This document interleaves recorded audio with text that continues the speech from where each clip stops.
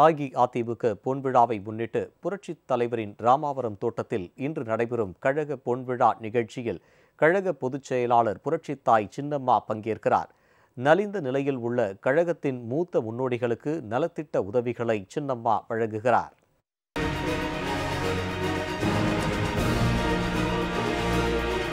அனைத்திந்திய அண்ணா திராவிட முன்னேற்றக் கழக பொன் விழாவை முன்னிட்டு இன்று மதியம் இரண்டு மணிக்கு புரட்சித்தாய் சின்னம்மா புரட்சித் தலைவரின் ராமாவரம் தோட்டத்தில் நடைபெறவுள்ள கழக பொன்விழா நிகழ்ச்சியில் பங்கேற்று சிறப்பிக்க உள்ளார்.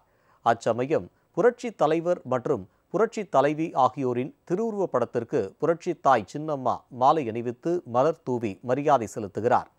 மேலும் நம் இயக்கத்தை உயிர் மூச்சாக கொண்டு இன்றைக்கும் தன்மானத்தோடு வாழ்ந்து கொண்டிருக்கின்ற நலிவுற்ற நிலையில் உள்ள கழக பேச்சாளர்கள் கலைக்குழுவைச் சேர்ந்தவர்கள் இயக்கத்திற்காகவே தங்களை அர்ப்பணித்துக் கொண்ட மூத்த முன்னோடிகள் ஆகியோரை கௌரவித்து நலத்திட்ட உதவிகளை புரட்சித்தாய் சின்னம்மா வழங்க உள்ளார்.